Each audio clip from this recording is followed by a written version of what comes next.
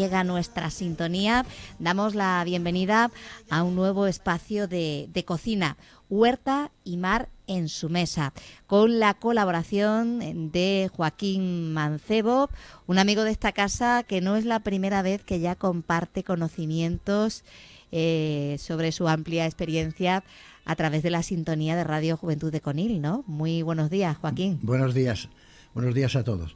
Efectivamente, allá en los años 90 91, 92, eh, tuvimos un espacio de cocina, llamábamos Momentos con Sabor, donde yo me dediqué un poco a recopilar lo que es la cocina tradicional de Conil y algunas recetas más que no eran de Conil, pero también se recopilaron, eh, pensando en darle una difusión, que estamos en ello, que algún día lo vamos a conseguir, para que esa cultura gastronómica local no se pierda porque las libretas antiguas que tenían las abuelas están desapareciendo, ya prácticamente no se hacen libretas, como todo está en Internet, pues entonces la gente tira de Internet. Pero así es, colaboramos y pasamos unas temporadas bastante agradables porque la, intervención del público a través del teléfono, con sus comentarios, con sus recetas y con sus preguntas, también eran muy importantes. Pues eso es lo que vamos a intentar este verano, ¿no, Manu? Eh, hablar de cocina, hablar de cocina sana, económica, divertida y algo muy importante, ahora que está tan de moda esto del kilómetro cero, promocionar los extraordinarios productos de nuestra tierra. La verdad que son muchos y muy sanos los productos de nuestra tierra y la verdad es que merece la pena promocionarse. Yo creo que con muy poquito se promociona una barbaridad porque son todos los productos que tenemos por esta zona, ¿no, Joaquín? Efectivamente. De hecho, yo también estoy en esa labor, estoy en esa labor en la Biblioteca Infantil de Nachanca. Estamos haciendo una especie de talleres con niños. hemos hecho ya un primero con frutas, que fue los niños alucinaron porque, claro, los sentamos en una mesa, les pusimos un platillo de plástico, un cuchillo de plástico, evidentemente, para que no hubiese riesgos. Y ellos con las frutas que traían, pues empezaron primero intentando pelarlas, que era casi imposible, sobre todo las manzanas y demás, las pelábamos nosotros. Eh, luego ellos trocearon su fruta, más o menos como les vino en gana. Hicimos unas pequeñas brochetas con esa fruta, hicieron ellos con unas pequeñas brochetas con esas frutas. Las bañamos un poco con siropes de chocolate y de caramelo y demás. Y vamos, pasaron una tarde muy, muy agradable. Y además aprendieron una cosa, eh, hubo muchos niños que no habían probado según qué frutas y las probaron, cosa muy interesante. Pues no cabe duda de que sí y bueno, eh, habrá gente que quizá todavía no conozca la trayectoria, la experiencia de Joaquín Mancebo eh, ligada a la cocina y a la gastronomía. ¿Cómo nos la resumiría, Joaquín? Pues mm, simplemente, Joaquín Mancebo llegó a Conil en 1974, marzo. Venía de, disfrutar una de las fiestas para mí mejor, que es mis fallas en Valencia, porque soy valenciano. Entonces venía recién casado, me casé en octubre del 73 y, y, llegué a Conil en el 74, recién casado con mi esposa. Cuando a mí la empresa que me contrató, que era una empresa hotelera, Iberhotel, tenía un hotel, el Hotel Flamenco, solamente en esta costa, eh, en toda Andalucía no tenía absolutamente nada, se estaba centrado en Baleares en aquella época. Eh, cuando a mí me sugirieron la, oportunidad de venir a Conil, tenía otra oportunidad que ir a Formentera a inaugurar un, un nuevo hotel de mil plazas, un monstruo, un monstruo marino. Yo con él no, sabía ni, dónde estaba ni si existía. Lo buscaste en el mapa, Lo busqué en el mapa. Y mi esposa, que es de Granada, dijo, pues mira, mejor porque así si tenemos que ir a Granada nos pilla más cerca con el coche, no hay que embarcar, tal, tal. Vinimos a Conil. Sabía decisión. Sí, sabía, sabia decisión. En principio, eh, la idea era estar dos o tres temporadas, eh, poner el hotel en funcionamiento bien, darle ritmo y volver a Baleares pero esas dos, tres temporadas se convirtieron en 36 temporadas en el Hotel Flamenco. en los inviernos que el hotel se cerraba, pues básicamente yo me dedicaba, porque siempre me ha gustado mucho la cocina, soy autodidacta puro y duro. Tengo bibliografía culinaria a vida, la vida y por haber. Tengo revistas eh, culinarias tanto a nivel, de, a nivel profesional como a nivel amas de casa de, aquella época, encuadernadas y sin encuadernar. De papeles eh, propios a, bolígrafo, pues no sé lo que tengo, toneladas. Y en invierno, pues yo me dedicaba un poco a, sentarme en mi mesa de despacho que tenía en casa, con mis papeles, mis cosas, y a dar cursillos. El primero que di, así particular, fue a las amas de casa de Vejer, de la frontera. Un cursillo que les gustó mucho. Luego se dieron también aquí a amas de casa. Yo, también hacía cursillos en invierno a grupos de amigos en el Hotel Espada, cuando era Hotel Espada, en la cocina del Hotel Espada. Eh, el INEM también hice varios cursillos ya a nivel profesional eh, para cocineros y ayudantes, cursillos de 800 horas, o sea, ya en serio. Y eh, para una, una, liga, una ONG de Madrid que venía, que vino a través de Nino Iglesias, que era la Liga para la Educación de los, chavales más, no perdidos, sino con menos formación y que no sabían qué hacer en su vida. Se dieron en el Hotel Flamenco tres o cuatro cursillos de estos de la Liga, o sea que siempre he tenido actividad. He hecho demostraciones gastronómicas o intercambios gastronómicos en Marruecos con unos profesores de Conil que yo conocía del Colegio de los Molinos, que era Abelardo uno y, Javier Ligero otro, he hecho intercambios eh, culturales de cocina con Marruecos, cuatro o cinco veces, en Tetuán y en Casablanca. O sea que siempre Has combinado tu trabajo, tu experiencia con, bueno, el compartir tu conocimiento a través de, clases y ahora, pues precisamente a través de este Huerta y Mar en su mesa, vas a compartirlo a través de la sintonía de Radio Juventud de Conil. Vamos a presentar este programa. Muy bien. Joaquín, ¿qué es o qué pretende ser Huerta y Mar en su mesa? ¿Qué vamos a hacer este verano, eh, los martes a las 12 del mediodía, en nuestra sintonía? Bueno, pues eh, eh, los martes a las 12, como dices, en esta sintonía, vamos a hablar un poco de lo que es la huerta y el mar de Conil.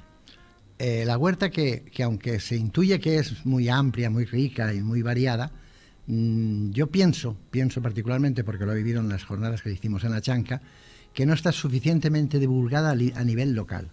O sea, a nivel local la huerta de Conil se reduce a 8 o 10 productos.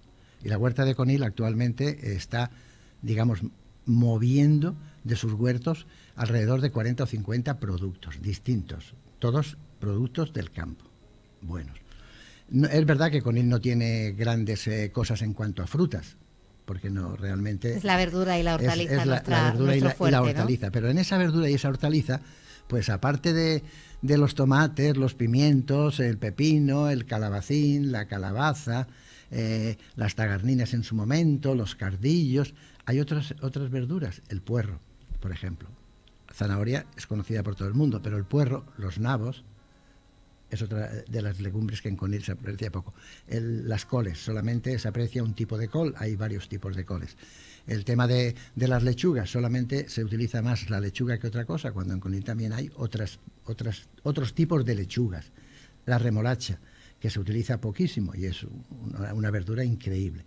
Entonces yo pienso, quiero ir rescatando todas esas legumbres, quiero ir trabajando con esas legumbres con el fin de ir introduciéndolas también en el ambiente. En cuanto a los pescados, los pescados de conino en los cuales yo me voy a centrar, evidentemente, no van a ser ni las hurtas, ni los bocinegros, ni las doradas. ¿Por qué? Porque son pescados de alto valor que, por regla general, a la mesa de conil llegan pocas veces y llegan siempre a través del restaurante en una celebración o tal. Pero a la mesa como tal del ama de casa es un poco complicado. Un día puede permitirse el capricho, pero realmente pagar un besugo a, estar ahora mismo a 26 o 27. Importante y lo, y lo estamos eh, mm. bueno destacando en la promoción del programa que va a ser una cocina sana, por supuesto, con estos maravillosos productos. Económica, no nos olvidemos, porque hay que optimizar recursos en tiempos difíciles como estos, Joaquín. Claro, y tratar de aprovechar todo lo que tenemos en casa y todo lo que nos puede quedar en casa, porque hay que diferenciar una cosa. Una cosa son desperdicios y otra cosa son sobras. Sobras quiere decir que has hecho más cantidad de lo que tú has calculado o no se ha consumido la cantidad que tú has calculado y tienes ahí un resto de un pisto, de un puchero, de cualquier otro tipo de plato que tiene un aprovechamiento, que no forzosamente tiene que ir al cubo de la basura que no tiene ningún sentido, sino tiene un aprovechamiento. Entonces, eso es importante. Es importante por aprovechar ese producto y porque nos ayuda en la economía familiar, que también es muy importante. Y algo importante también, Joaquín, que, te, que te, pedimos desde aquí, que, que, sean platos confeccionados de forma fácil y con ingredientes sencillos, porque a veces estamos hartos de ver en muchos programas que están ahora tan de moda, ¿no? De, de cocina, y que bienvenido sea, porque contribuye muchísimo, en revistas también especializadas en gastronomía, pues algunos ingredientes que a veces pensamos o tenemos que buscar, ¿qué es esto? Sí. ¿No? Sí. Entonces vamos a intentar que esto no suceda, que sea cocina sana, económica, evidentemente, con productos de aquí. Evidentemente yo me baso siempre en lo mismo, que cada zona tiene sus productos y cada zona tiene su forma de, guisar o de prepararlos en la cocina. Yo me baso en esos dos conceptos y procuro, lo que tú bien dices, no poner artículos, sobre todo en especias y, condimentos, que sean muy difíciles de localizar en, en la zona. O sea, si a mí me consta que, por ejemplo, el jengibre es, maravilloso, tiene unas cualidades impresionantes, pero en zona es muy complicado conseguirlo, porque incluso las grandes superficies lo suelen traer porque es un producto que tiene muy poca demanda en zona. Entonces yo, qué tontería que yo de recetas con jengibre, por muy bueno que sea o por muy, por muy, muy buen resultado que dé, si luego van a tener dificultad. Entonces yo me voy a basar prácticamente en los productos que tenemos a diario y a mano, con el fin de conseguir una cocina sana, una cocina fácil, una cocina rápida incluso de hacer, para que no te agobies. Para la gente con poco tiempo, porque vamos corriendo, corre que te corre, y a veces eh, pensar en qué hacer de comer, qué preparar, mm. pues eh, es es algo complicado.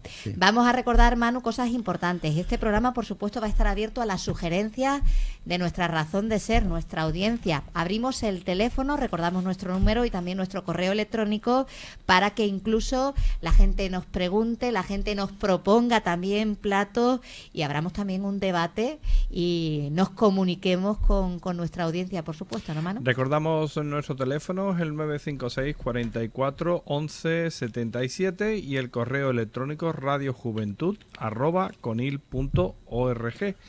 Esos son el correo y el teléfono. El teléfono comienza a estar abierto ya y pueden llamarnos cuando quieran para sugerirnos cosas o para pues participar en un, de manera activa también en algún programa si hace falta, ¿no, Joaquín? Sí.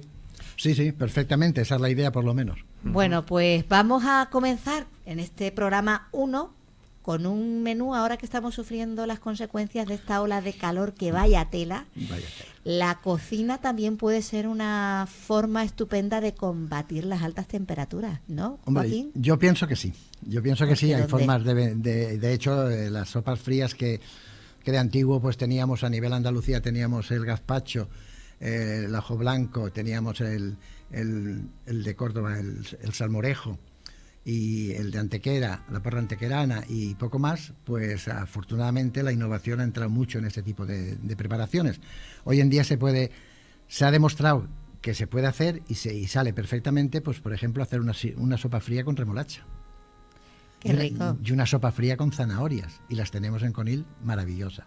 evidentemente hay que agregarle algún ingrediente más, que no solo todo zanahoria o todo remolacha, pero con una serie de ingredientes fáciles y frescos se consiguen unas cremas frías de verano impresionantes, que también se pueden tomar caliente, pero ahora en verano pues las podemos tomar frías.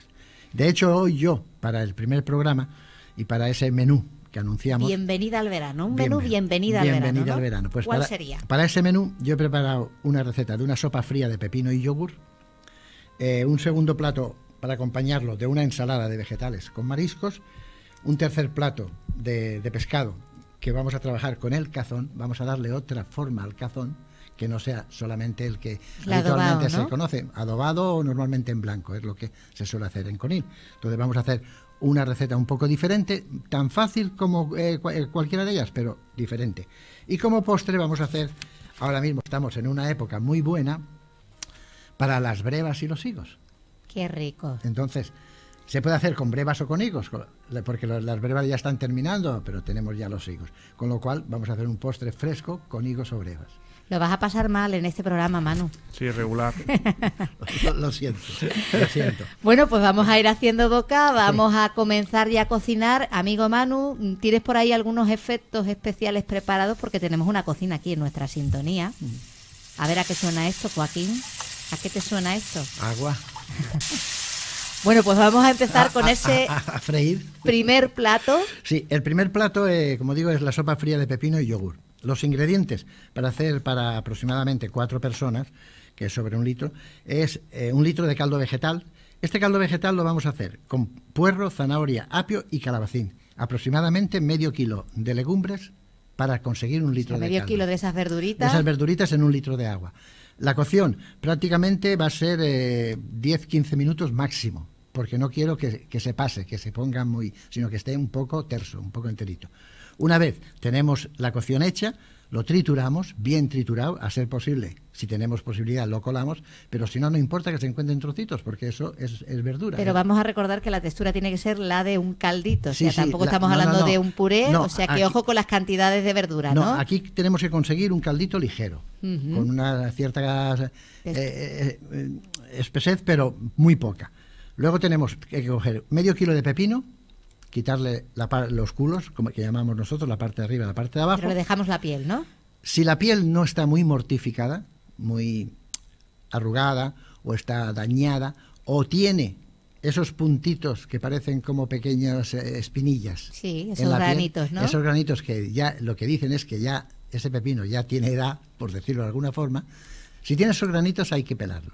Si no, basta, si la piel está limpia, basta que eh, pelemos el 50%, o sea, un par de tiras, porque el verde también nos da, aparte de, de color, nos da eh, unas vitaminas. Y importante, la piel es donde dicen que se concentra la mayor parte de las propiedades de las verduras, ¿no? Esto pasa con el calabacín, pasa con todas, ¿no? la zanahoria. De todas. De todas. De hecho, yo eh, utilizo calabacín, evidentemente, y berenjena para un pisto y no lo pelo nunca. Le dejamos la piel bien enjuagadito. Claro, lo utilizo para hacerlos a la plancha, que quedan maravillosos y, no los pelo nunca, porque esa piel es, buena y necesaria. Después, el pepino también lo partimos por la mitad. Si vemos que la semilla es muy grande, ya es que ya tiene una edad, como digo yo, hay que tratar de retirarle parte de las semillas, porque eso para triturarlo luego te da muchos problemas. Y si hay que retirarlas todas, se retira. Dejamos solamente lo que es la pulpa del pepino. Necesitamos también dos yogur natural sin azúcar, me da igual que sean bio como que no sean bio, bio pero que sean sin azúcar. Sin azúcar. ¿eh? Unos 100 gramos de un queso tipo Filadelfia, cremosito. cremosito, un diente de ajo, unas 10 hojitas de la eh, hierbabuena, aceite de oliva virgen extra, unos 100 centímetros cúbicos, sal, pimienta y un poquito de vinagre, a ser posible, de manzana ojo con el vinagre, ¿no? Sí, eso es fácil de conseguir, eso lo hay en todos lados. Además, es que es distinto. Es que en el tema de vinagres, un día hablaré del tema de los vinagres. Y es que hay muchísima variedad, ¿no? Y, quizá no sabemos para qué va bien cada tipo, ¿no? Exacto. Es que además ya el mercado está tan saturado que ya los Módena antiguamente eran los vinagres de más calidad en el mundo entero, porque es un vinagre que tiene, como el vinagre de reserva de Jerez, una crianza de 25 años, con lo cual tiene unas propiedades muy buenas pero era solo vinagre. Ahora el vinagre de Módena se está convirtiendo en, siropes.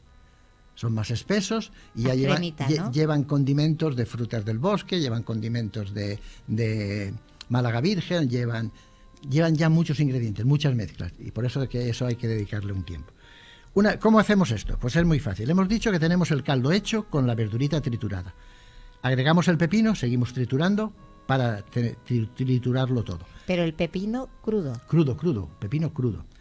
Luego, por otra parte, tenemos que triturar el diente de ajo con la hierbabuena, a la cual agregamos el aceite de oliva, la sal, la pimienta y el vinagre de manzana un poquito. Y con eso hacemos como una especie de vinagreta. Ajá. De vinagreta que agregamos a lo que estábamos haciendo. O sea, ya tenemos junto el pepino triturado con el caldo con las verduritas, le agregamos el, el triturado de las especies y los dos yogur natural. Los trabajamos, simplemente trabajarlos con un batidor o con la misma trituradora, con lo que tengáis más a mano, a enfriar y a tomar. Porque esto fresquito, fresquito. Esto fresquito. Esto, el, digamos, la consistencia que yo considero que tiene que llevar es como si fuese un caldo espesito. ¿Tipo salmorejo? No, no, no, no, no, no, ni gazpacho. Más, más ligerito que el gazpacho, casi como un zumo más concentrado. Porque es fresquito como te va a entrar bien. Porque además no necesitamos, como tenemos tres plátanos, no necesitamos que tenga tampoco mucha espesez ni mucha consistencia, porque ahora tenemos la ensalada. Yo creo que esto ha quedado claro. Perfecto. Bien, pues ahora vamos a la ensalada de mariscos. Ensalada de mariscos, yo le he puesto de mariscos por no poner Esta es una ensalada que yo creé en el Hotel Flamenco en el 1996 para, O sea, que esta para es su carta, para su carta. Y esta tuvo mucho, un gran éxito tuvo. Esta ensalada se llama, eh, lleva dos cogollos de Tudela, que también se encuentran fácilmente, unos 300 gramos de pimientos asados en tiras, que yo aconsejo asar los propios de Coril. Da igual que sean los verdes, que sean los rojos. Particularmente a mí me gustan los rojos. Los rojos más. porque tienen más carne, tienen más consistencia de carne y tienen un sabor distinto. Y para asar los pimientos, hombre, lo mejor la leña, por supuestísimo, Hombre, ¿no? Pero, vamos a ser prácticos. Pero es que Eh, para asar los pimientos, esta es, porque un picadillo de pimientos asados también es un plato estrella del verano. ¿Cuál es, tu consejo a la hora de muy hacerlos? A ver, Este, esta tempo- este tiempo que empezamos es tiempo de barbacoas. Quien más, quien menos, un fin de semana hace una barbacoa. merecen un programa también las barbacoas, ¿eh, Sí, Joaquín? Sí, sí, Lo pero, haremos. Pero es tiempo de barbacoas. ¿Qué ocurre con la barbacoa? Que encendemos la barbacoa, la preparamos, preparamos las brasas, hacemos nuestros chorizos, nuestras salchichas, nuestras carnes, nuestros, los más atrevidos, nuestras verduras, que quedan de escándalo y demás. Y nos ponemos a comer. Pero la barbacoa queda brasas y fuego. Unos cuantos pimientos gordos de sal, los dejamos allí, nada más que hay que ir de cuando en cuando ir dándole una vueltecita. Cuando terminemos de comer están asados y ya tenemos el pimiento asado sin necesidad Sin de... enterarnos. Sin enterarnos. Para casa, yo lo hago así, porque hacerlo en, en- en- en la plancha, o sea, en el fuego, con una, en una sartén o tal, pues el humo es impresionante. Entonces, ¿yo qué hago? Cojo una placa de horno, pongo los pimientos, los rocío con un poquitín de aceite y los meto al horno. 200 grados. En media hora están asados. Y están perfectos. Muy bien. ¿eh? Bueno, Pues pues, tenemos seguimos. ya la, la O sea, cogollos, recordamos. Decimos dos cogollos, 300 gramos de pimientos asados, 100 gramos aproximadamente de zanahoria cruda rallada, dos piezas de huevo duro, eh, dos tomates tipo canario, Tomates tipo canario. sí, o el tomate de pera. Ahora mismo podemos Aquí hay una gran variedad de tomates No, no, en esta es tierra. que ¿Cuál mismo- sería el ideal? Ahora mismo para mí el, tip- el pera, El pera. dos tomates pera. Buenísimo. Yo lo- en casa no me y falta. los cherry pera no te digo nada. No, no, pero el pera yo lo utilizo para todo, para hacer una frita que hago constantemente, para una ensalada, para un pisto, para cualquier fondo, todo. El pera, tomate pera. Eh, 400 gramos de aguacate que lo vamos, lo podemos, es opcional, porque esta digo como fue una ensalada para una carta tenía que tener un, una- un prestigio. No es que sea complicado encontrar aguacate aquí, sino que el aguacate a- que llega aquí no llega nunca con su punto. Claro, que esté O- madurito. O, esté- o está verde. muy pasado o, está muy verde, o está ¿no? muy verde. Entonces el, el aguacate lo vamos a suprimir. Ocho piezas o diez de langostinos, que sí sí podemos sustituir estos langostinos por cara- eh, carabineros, ojalá. Bueno, estamos hablando de cocina No, económica, no, no, no, lo olvidemos. ¿eh? Importante. La gamba grande argentina que está de moda ahora mismo. Eh, lo diré. Langostinos. Eh, un poquito de atún, ventresca de atún o atún en conserva y una vinagreta de tomate. ¿Cómo hacemos esta ensalada? La vinagreta de tomate no es ni más ni menos que una vinagreta clásica que lleva ralladura de tomate. la vinagreta clásica, para recordarlo, es aceite, vinagre, un poquito de sal y un poquito de pimienta. Hay quien le echa una cucharadita de mostaza, pero no, no tampoco la necesita. Y hay quien le echa un poquito de zumo de limón. Esa es la básica. A esa básica le vamos a agregar eh, tomate rallado, ralladura de tomate, ralladura de tomate y el zumo de media naranja. Naranja para la ensalada. El zumo de media naranja, Claro, porque le va a aportar no el amargor no de, del limón, claro. Un toquecito más dulce Claro. y casa bien con todo esto, Per- ¿no? perfectamente. ¿eh? Entonces, para montarla, pues cogemos los cogollos. Los cortamos en cuatro partes, en cuatro gajitos. Y ponemos en el plato uno, dos, tres, cuatro. Alrededor, o sea, en el centro ponemos la zanahoria rallada. Y alrededor, pues vamos poniendo los pimientos, el atún. Una vez tenemos todo eso, de los dos huevos, de los dos huevos duros, los cogemos y los rayamos. Ah, so- rayaditos. Sobre la ensalada. Que va a quedar bonito, bonito, además de Precioso, rico el plato, ¿no? Precioso. Y por último, a la hora de servir, porque si no, se, el- sobre todo la lechuga se pone muy, muy maxilienta, le- la rociamos con la vinagreta. Todo va en gajos, o sea, el cogollo en gajos, el tomate en gajos y hacemos con ello una corona.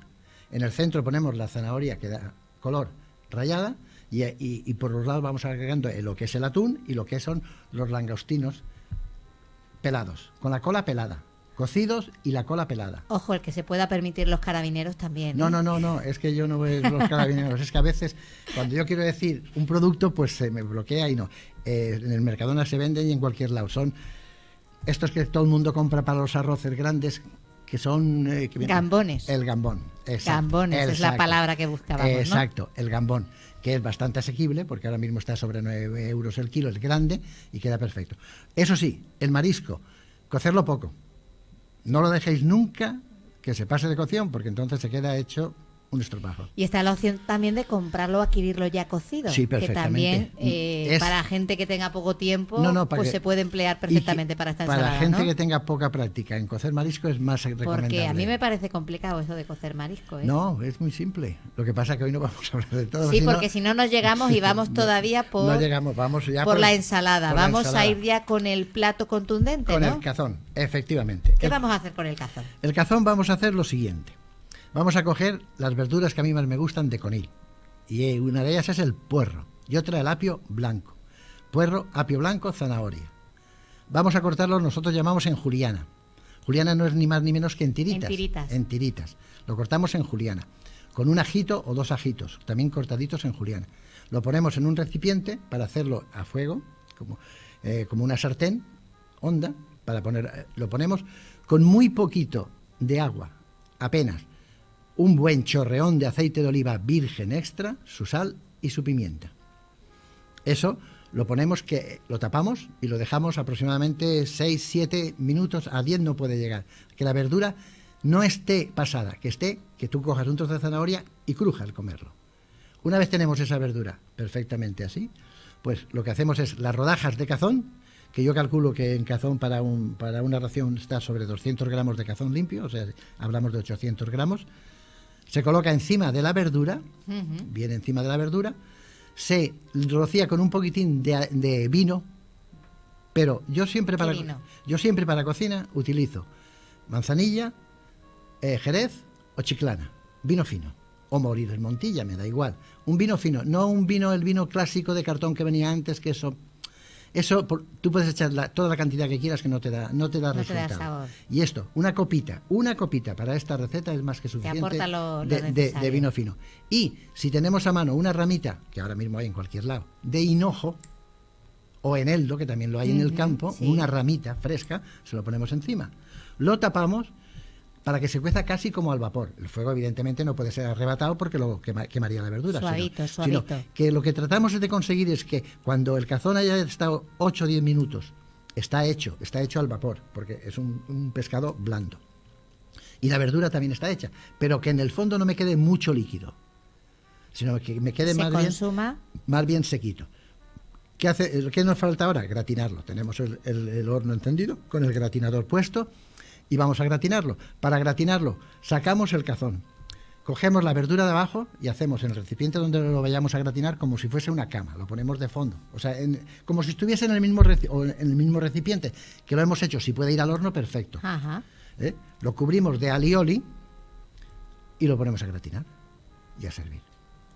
Oye, pues una forma de cocinar cazón eh, original, Y sencilla, Y simple. desconocida y To- mucho que ofrecer, ¿no? Que el cazón no solo claro. se puede comer en adobo, que es como más estamos acostumbrando, o blanco, ¿no? Como decías. Entonces, eh, yo creo que todo el mundo sabe hacer alioli, pero si no, el alioli que ahora está más de moda, que es el de leche, es de cuatro partes, una de leche, tres de aceite, un poquito de sal, un poquito de pimienta y un poquitín de, de vinagre. La Trituradora y sale y listo. y sale perfectamente. Ese, ese alioli lo ponemos por encima, lo napamos bien el cazón por encima y lo doramos hasta que esté bien doradito. Y ya tenemos el plato en la mesa.